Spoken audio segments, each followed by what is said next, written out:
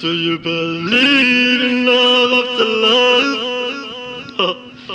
I can feel something inside me say I really don't think it's wrong at all.